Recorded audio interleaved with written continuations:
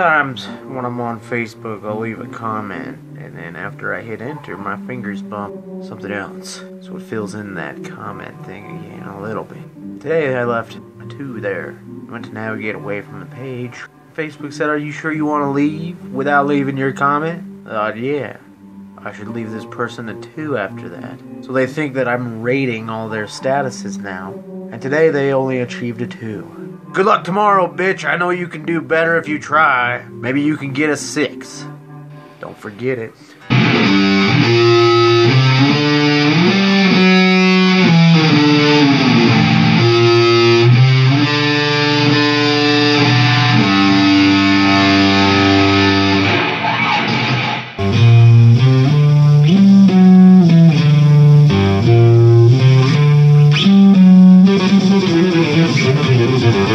Música